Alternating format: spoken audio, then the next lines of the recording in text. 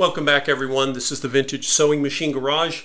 Uh, I am making a video for you. This is part of, uh, well there were two videos I wanted to make under purchasing. The first one was about this Singer 201-2. Uh, most of these were sold in the US, not nearly as many were sold in Canada. But I really um, had not seen one of these in a while and decided to take it on. And so the same week, this past week, I uh, went and looked and uh, got this machine. I actually got it from someone who who saw the channel and was local to us and asked us uh, or asked me if I would be interested, and they were willing to hold it until the weather got a little better and I could go uh, out and get it picked up. So that was very nice of them to do that. Uh, they wanted me to take the machine and, and give it the full overhaul. And um, so anyway, I bought it from them, and I'll find a client for it eventually. But I wish that there had been two Singer 201s to talk to you about because I looked at two this week. This machine, in spite of the fact that it has some, some wiring repair I'm going to have to investigate, make sure that that's uh, done or redone properly, I haven't opened it up yet to really assess it yet. So I have this one. This one was unique because it's, again, it's a potted motor 201, not common in Canada. But there was another 201 I went and looked at, and I had to say no. I think it might be the first 201 I've ever walked away from and did not purchase. And I'll talk to you guys a little bit about why and why you might have said, you know what, I'm going to buy it anyway and I'm going to restore it. So the machine was advertised as, I believe it was advertised as good condition.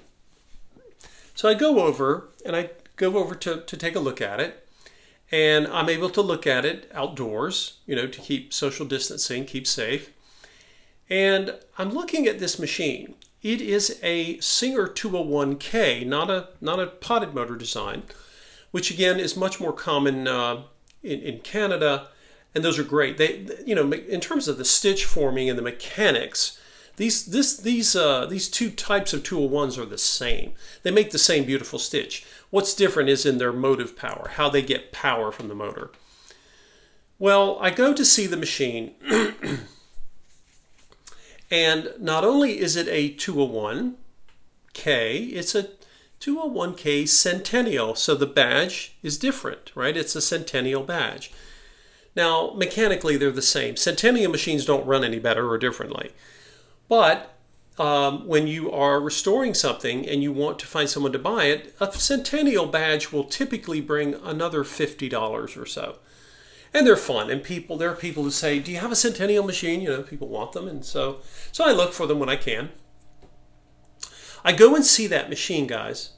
And the first thing is that the table that it is in is heavily damaged and will not be usable, but that's okay because a 201 can be put in a different table or in a carry case for that matter. So that wasn't a problem. And I kind of, they advertised, they said it was damaged. So no harm, no foul there. I get there and I start looking at the, uh, the 201K. Now, unlike this machine, which has the light fixture on the front, the 201K that I went and saw had a fixture that is mounted on the back like many singers. Many of you have seen those little light fixtures and they're removable, okay? So I'm looking at it and I notice that it has wiring with exposed wires. Not only has the outside covering of the cord crumbled, but the inside insulation for each wire has, and we've got two metal wires running in parallel and the owner actually plugs it in and turns it on. And I said, Are you sure about that? And they did. Now, the machine ran, it ran slowly. This was their machine, it was not mine. The machine is moving slowly, and the the seller says it's in perfect condition. It just needs to be cleaned. Of course, I know I know better, right? I know this. But it's a 201, so I, you know, it's like looking at something that I think I, if I can get it for the right cost. And I'm looking and I'm looking. So all of us, all right away, I know that the light fixture has to be removed. Okay, and I can rewire it. There's a lot of time. Now I can also try to find a vintage replacement uh, if it has good wiring and do that. So I have to uninstall the, the light fixture, reinstall the new one, or I have to take the old one off, uninstall it, and I have to literally rewire the light fixture. It can be done. It takes it takes hours to do, guys. It's not something that you just, you know, 10 minutes you're done. Okay, well, I see that. And then the machine, uh, it's, you know, it's, it's fairly rough. Now, the, the Centennial badge it had was in great shape, but on the top of the machine, literally from about here all the way over, a lot of the beautiful black lacquer is gone. And when I say gone, it's not flaked off. It's not like somebody scratched it off. It's literally, it looks like it was eroded away. Now, I don't know what would cause that. I don't know if someone had wrapped, you know, normally if someone put a wrap around the arm of the machine, and was sticking pins in it, it would have pin rash, you know, it have, and it had none of that. It looked to me as if someone had taken like a heavy solvent and cleaned it, or again, you could start to see the steel. Now, was that repairable? Of course. I could strip the whole machine. I could try to, you know, repaint it or have it repainted and put on new decals. But why did I say no? It's a 201 and a Centennial 201. Why would anyone say no to that? When the owner turned it on, I heard I heard a sound that was a clinking sound. Normally, the only clinking you ever hear out of a Singer 201 or most any vintage machine is when a is when a spool will rattle up against the spool pin. Well, there was no spool on there. There was sound coming from the drivetrain I'm not used to hearing. Does that mean it was ruined? No. Does it mean it could have been something simple? Possibly. But here again, when you're looking at something, you don't have hours and hours to play with it and inspect it.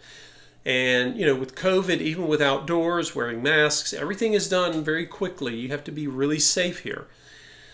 And I'm looking at this machine and I'm thinking, okay, I've done enough 201s to know that even a 201K, never mind the, the potted motor version that you see here, just the 201K takes me longer than almost any other machine to overhaul.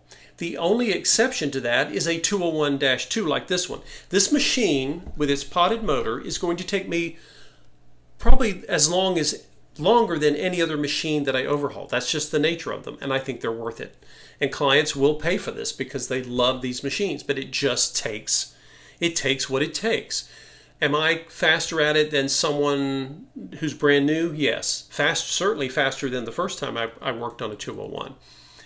But there are certain things you cannot rush. You need to do properly. There's just they just need to be done. They need to be taken apart. They need to be cleaned, inspected, polished, right? The tension assembly, which is true on all the machines, needs to be disassembled. It needs to be cleaned, inspected, make sure you know there's no thread remnants, etc. But I looked at that 201 Centennial, and what I saw was even more time. In fact, it was going to take me longer than this potted motor singer to overhaul. Now, here's the reason why I said no, but you might say yes to something like that. When I get these machines, my goal is to get them running again. It's a hobby. And then I take uh, anything, any monies from the sale of that, and I simply buy more machines. It's like a self-perpetuating thing. There's no profit center. It's certainly not a business. Um, if, if you know if, if you were going to do this work on a hobby level like I do, you, you know you starve to death.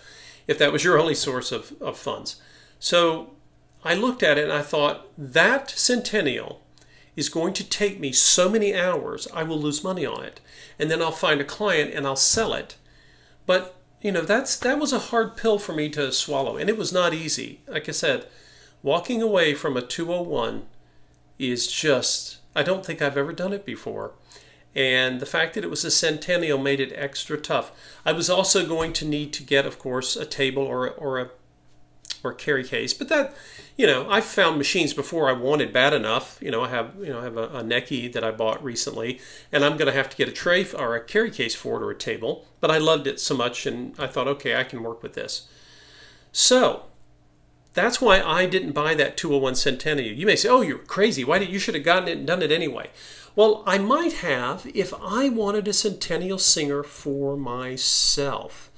If you are looking for any vintage sewing machine for that matter, or let's say you come across a Singer 201, whether it's one of these uh, potted motor or the, the 201Ks, whether it's a Centennial or not, if you see the machine, you say, you know what, I always wanted one of these, but I don't want to pay for one brand new. They they sell for they're one of the more expensive machines to buy restored. Again, I can vouch for that because I have to charge more for them when I sell them because I spend a lot of time with them.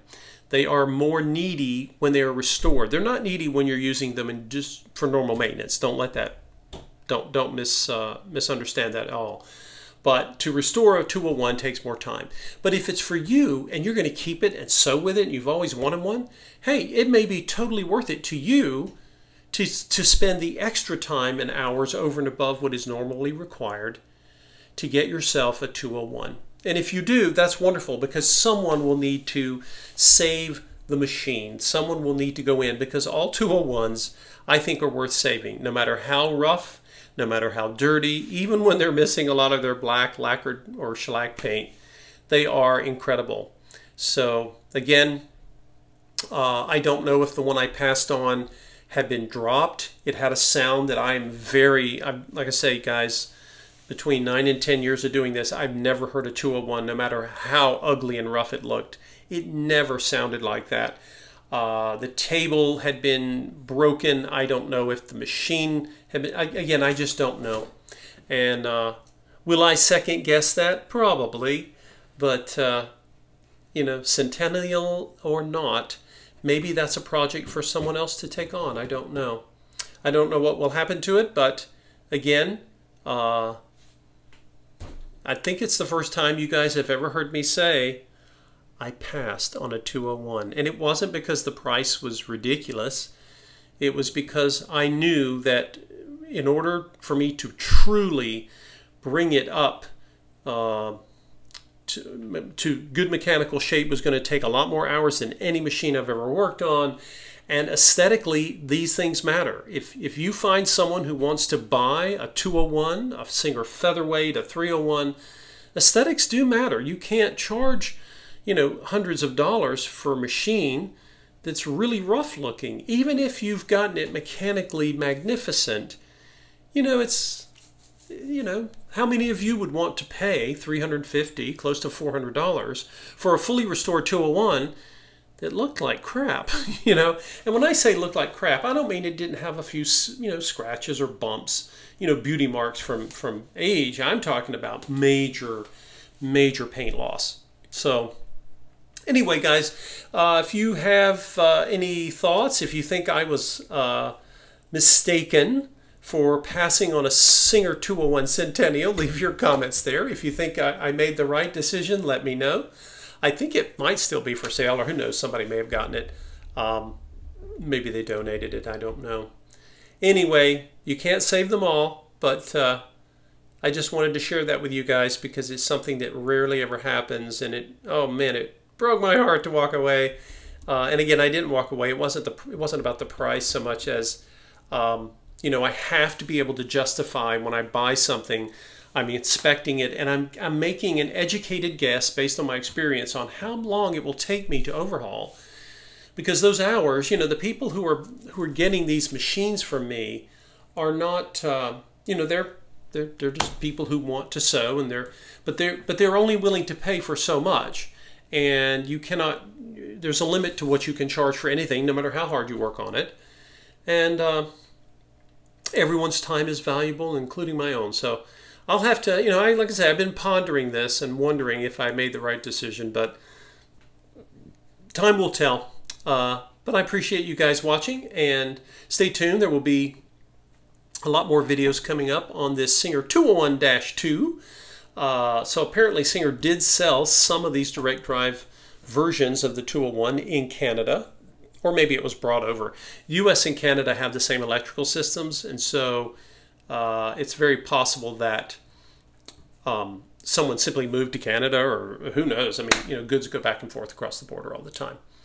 But if you guys have a potted motor 201 or if you have the 201K, let me know if uh, what you like about your machine, if you like it, if you if you wish you had the other one. I've had people on both sides say, "Boy, I have this one, but I wish I had the other version." So, the grass is always greener, I suppose. Thanks for watching, everyone. Stay tuned for more 201 videos.